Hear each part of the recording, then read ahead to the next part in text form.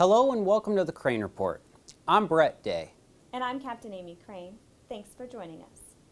On Monday, May 9th, NSWC Crane hosted the Deputy Chief of Naval Operations for Warfare Systems, Rear Admiral Michael Manazir.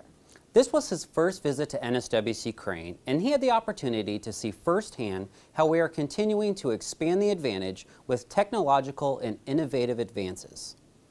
This week, NSWC Crane is hosting the 9th Annual Association of Old Crows Electronic Warfare Capability Gaps Conference. The conference provides a forum for electronic warfare professionals from the military, government, industry, and academia fields to discuss issues related to the requirements of programs, platforms, and operations.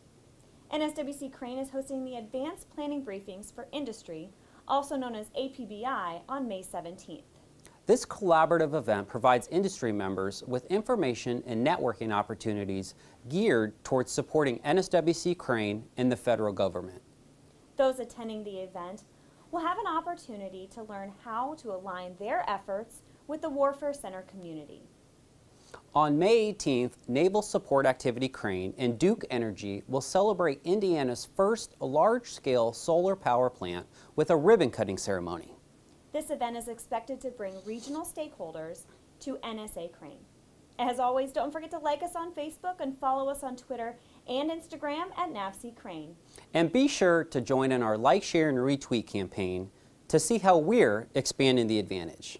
On behalf of NSWC Crane Division, I'm Brett Day. And I'm Captain Amy Crane. Thanks for watching the Crane Report.